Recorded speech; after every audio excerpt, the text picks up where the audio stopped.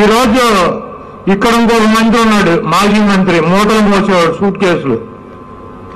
ఆ ప్రాజెక్టులో వచ్చినటువంటి డబ్బుల్ని ఈ పేకడ కబ్బుల్లో వచ్చేటువంటి డబ్బుల్ని మూటల్లో పెట్టుకెళ్ళి పొప్పులేడు అందించేటువంటి ఇక్కడ ఒకడున్నాడు వాళ్ళ నాయకుడికి ఏం తీసిపోడు? రావణ గారు చచ్చిపోయాడని చెప్పి దండలేసి వేసి సమాజంకి చేస్తాడు వదిన గారికి ఈయనకి. ఈయన కూడా అదే రూటు. ఆయన మానవ చంపి ముఖ్యమంత్రి అయితే ఈయన వదిన చంపి శాసనసభ్యుడు ఇటువంటి వ్యక్తుల్ని ఈరోజు రాజకీయాల్లో ఉన్నాం కాబట్టి సమాజంలో ఉన్నాం కాబట్టి ఇంతకన్నా ఏమీ చేయలేం కాబట్టి నాలుగు మాటలు మాట్లాడి వెళ్ళి కూర్చోవాల్సినటువంటి పరిస్థితి ఉంది. ఇదే రాజకీయాల్లోకి లేకపోతే దేవునేమో అనేటువంటి వాడిని చెప్పు తీసుకుని కొట్టేవాడిని. వాడు గుడివాడు వచ్చి ఆడెవడో చేపల చెరువు మీద పేకాడుకుంటున్నారంట. వాటిని మా పోలీసులు దాడి చేసి పట్టుకుంటే ఈడేదో నా క్లబ్ మీద రైడ్ చేయించినట్టు కోట్లు కోట్లు జరిగిపోయి పోయి ఊగిపోతున్నాడు నేను ఆడిస్తాను వీడు పట్టుకున్నాడంట ఏదో రకంగా జగన్మోహన్ రెడ్డి గారి మీద నా దాడి చేస్తే మాటల దాడి మేము ప్రతిఘటిస్తున్నాం. మా సివిల్ సప్లై అయితే నా మీద ఏమైనా చిన్న ఎలిగేషన్ చేయొచ్చేమో ఎక్కడన్నా అవినీతి చేశానా అని చెప్పి ఒక టీంని పెట్టి చంద్రబాబు గారు ఎతికిచ్చాడు. ఎక్కడ కూడా అవకాశం దొరకల. అందుకని చెప్పి ఏదో రకంగా నన్ను భ్రష్టు పట్టించాలని చెప్పి ఎక్కడో చెట్టు కింద ఆడుకునేటువంటి ప్యాకెట్లు నేను ఆడిస్తే విజయవాడ క్లబ్లో ఈ గుడ్డి ఉమాగాడి మంత్రిగా ఉండగా ఈ చంద్రబాబు ఇటువంటి వెరవ ముఖ్యమంత్రి ఉండగా మరి విజయవాడ క్లబ్లో పన్నెండు మంది సభ్యులతో మీరు పేకలాడిచ్చినప్పుడు మీకు చంద్రబాబు నాయుడికి ఉమాకి ఎంత డబ్బులు వచ్చిందని చెప్పి నేను అడుగుతున్నా. ఈరోజు బ్రోకర్ పనులు చేసేది అవినీతి కార్యక్రమాలు చేసేది ఈ బ్రోకర్ పనులకు డబ్బులు వసూలు చేసుకొచ్చేటువంటి బ్రోకర్ గాడు ఎవరైనా ఉన్నాడంటే వాడే దేవుని ఉమా ఇటువంటి దేవుని ఉమాన్ని ఇటువంటి చంద్రబాబు నాయుడిని రాజకీయంగా సమాధి చేయాలి. ఈ రోజు గొల్లపూడి గ్రామంలో మూడు వేల ఐదు వందల మంది నిరుపేదలకి ఇళ్ళ పట్టాలు ఇవ్వడం జరుగుతుంది. ఇది ఒక పెద్ద గ్రామం. విజయవాడకు ఆనుకుని ఉంటుంది. ఇక్కడ లక్షల రూపాయలు కోట్ల రూపాయలు భూమి రాస్తుంటుంది. ఇక్కడ ఒక పేదవాడు సెంటు కాదు ఒక గజం కూడా స్థలం కొనుక్కోలేనటువంటి పరిస్థితి. నువ్వు పది సంవత్సరాలు శాసనసభ్యుడిగా ఉండి ఐదు సంవత్సరాలు మంత్రిగా ఉండి ఒక్క నిరుపేద కూడా పట్టాలు ఇవ్వలేనటువంటి దౌర్భాగ్య స్థితిలో ఉన్నావంటే ఉమా నువ్వు ఆలోచించుకోవాలి. నువ్వు జగన్మోహన్ రెడ్డి గారు చేసేటువంటి కార్యక్రమాలని నువ్వు మెచ్చుకోవాల్సినటువంటి అవసరం లేదు. నువ్వు చంద్రబాబు నాయుడు బూటులు నాకుని నాక్కో అంతేగాని జగన్మోహన్ రెడ్డి గారు చేసేటువంటి కార్యక్రమాలని పెద్ద చిన్న లేకుండా నీ ఇష్టం వచ్చినట్టు కనుక నువ్వు మాట్లాడితే నా చేతిలోనో కేపీ గారి చేతిలోనో మా వంశీ చేతిలోనో నువ్వు తమ్ముడు కనుక తప్పదు. మా ఫోన్లు కూడా బ్లాక్ చేశాడు వీడు. ఎక్కడో ప్రెస్ మీట్ పెడతాడు కుక్కలాగా మొరుగుతాడు. నేను ఎవడో ఒకటి ఫోన్ నుంచి చేస్తాను నా ఫోన్ ఎత్తాడు బ్లాక్ లిస్ట్లో పెట్టాడు అని చెప్పి. ఏంట్రా అని చెప్పి అడుగుదామని. ఫోన్ ఎత్తాడు ఎత్తగానే ఏమ్మా అంటాడు. ఏంట్రా ఉన్నా వాగుతున్నా అంటే తప్పని కట్టి ఆ ఫోన్ బ్లాక్ అడిగి సిగ్గుచారం లేదు.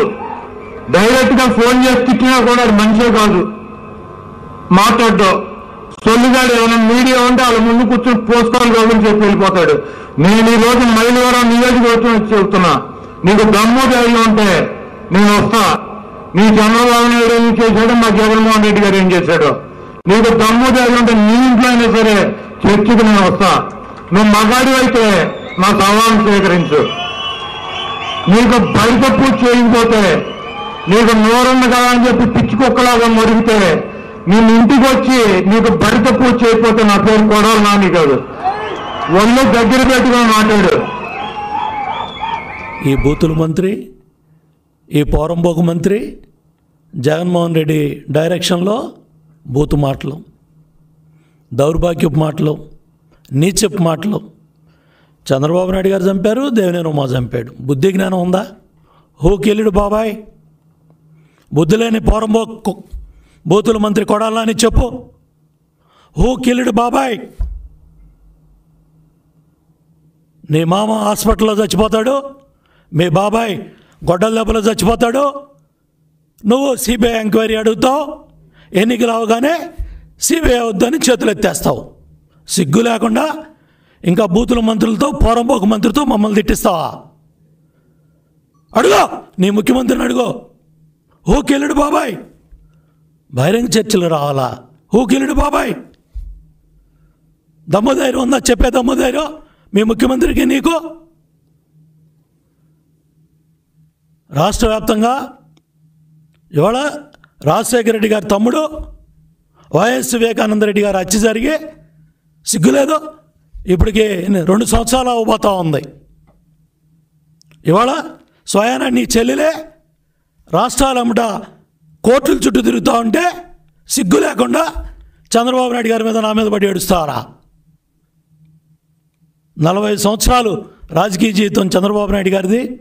ఇరవై సంవత్సరాలు ప్రజా జీవితంలో నేనున్నాను. ఇవాళ మీరు సమాధానం చెప్పలేక ప్రజలు అడిగే ప్రశ్నలకి చంద్రబాబు నాయుడు గారు చంపాడు దేవినేని ఉమ్మ చంపాడు ఎన్ని ఎన్నేళ్ళు చెప్పుకొని ఏడుస్తారా ఇలాగా? ఎన్నేళ్ళు చెప్పుకొని ఇవాళ ఈ విధంగా మా మీద పడి ఏడుస్తారు? ఇవాళ ప్రజలు అడిగేది ఏంటి? హూ కిల్లుడు బాబాయ్ మామ హాస్పిటల్లో చచ్చిపోతాడు బాబాయ్ గొడ్డల దెబ్బలో చచ్చిపోతాడు. ఎవరు? ఊకిలుడు బాబాయ్లో ఏ ఎంపీ ఉన్నాడు? ఈ ఉడత ఊపులకి ఢిల్లీ ఎందుకు వెళ్తున్నాడు జగన్మోహన్ రెడ్డి రేపు? ఉడత ఊపులా? మరి ఉడతలు ఏ ఉడత ఊపులని ఏ ఉడత ఊపిందని ఢిల్లీ వెళ్ళి హోంమంత్రి కాళ్ళు పట్టుకోపోతున్నాడు ఢిల్లీ వెళ్ళి ప్రధానమంత్రి గారి కాళ్ళు పట్టుకుంటానని అడుగుతున్నాడు. భారతరత్న ఎన్టీ రామారావు గారికి రావాలి ఇవ్వాలి. అది మేము అడుగుతూనే ఉంటాం కేంద్రం మీద ఒత్తిడి తెస్తూనే ఉంటాం. ఎప్పుడైనా సరే ప్రత్యేక హోదా ఇరవై నెలల్లో ఏం గడ్డి పీకారు?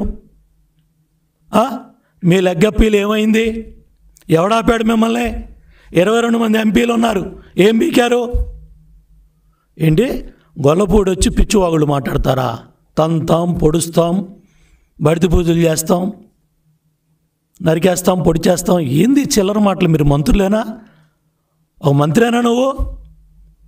పేకాడ ఆడించుకుంటూ ఒక సిన్సియర్ పోలీస్ ఆఫీసర్ పట్టుకుంటే దానికి సమాధానం చెప్పలేక నువ్వు ఆడే కోతాట నీ ఆధ్వర్యంలో కోతాట నడుస్తూ ఉంటే ఎంతోమంది తాళ్ళు దిగితే ఒక సిన్సియర్ పోలీస్ ఆఫీసర్ క్యాబినెట్ మంత్రి ఆధ్వర్యంలో నువ్వు ఆడిచ్చే కోతాటను పట్టుకుంటే సిగ్గు లేకుండా ఇంకా సమర్థించుకుంటున్నావా? తాడేపల్లి ముందే కదా నువ్వు మాట్లాడింది? మా తమ్ముడు ఆడతాడు నేను ఆడతాను యాభై కడతాను వంద కడతాను కోర్టుకి వెళ్తాను సిగ్గు లేకుండా ఒక క్యాబినెట్ మంత్రిగా మాట్లాడి మళ్ళీ వాళ్ళ గొల్లపూడి వచ్చి నన్ను బూతులు తిడతావా? ఓకే. జగన్మోహన్ రెడ్డి గారు మీ పోరంబోకు మంత్రి మీ బూతుల మంత్రి నన్ను సవాల్ చేసి గొల్లపూడి నా గ్రామం వచ్చి బూతులు మాట్లాడి వెళ్ళాడు. వీటన్నిటికీ నిరసనగా రేపు ఉదయం పది గంటలకి ఎన్టీ రామారావు గారి విగ్రహం దగ్గర నేను కూర్చుంటున్నాను. జగన్మోహన్ రెడ్డి గారు టచ్ చేస్తారా? ఎవరు టచ్ చేస్తారో చేసుకోండి.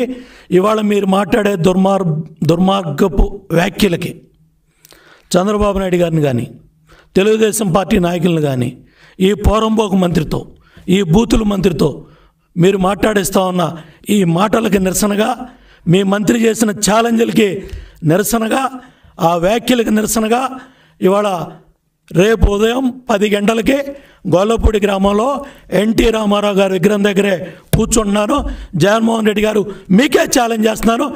టచ్ చేయండి. నేను అక్కడే కూర్చుంటాను. మీరు వాగిన పిచ్చివాగుళ్ళన్నిటికి కూడా ప్రజలే సమాధానం చెప్తారు. ప్రజల ముందే ఎన్టీ రామారావు గారి విగ్రహం ముందే ఏ గ్రామంలో అయితే మీరు దుర్భాషలాడారు? ఏ గ్రామంలో అయితే మీరు బాధ్యత లేకుండా మీ మంత్రులతో మీరు మాట్లాడిచ్చారో ఆ గ్రామంలోనే ఎన్టీ రామారావు గారి విగ్రహం దగ్గరే నేను కూర్చుంటాను. నీ మంత్రికి దమ్ముందా ఈ ముఖ్యమంత్రికి దమ్ముందా ఈ ఈ ప్రభుత్వానికి దమ్ముందా నేను కూర్చొని ఎన్టీ రామారావు విగ్రహం దగ్గరే నిరసన తెలియజేస్తాను. సమాధానం చెప్పమని జగన్మోహన్ రెడ్డి గారిని నేను డిమాండ్ చేస్తున్నా.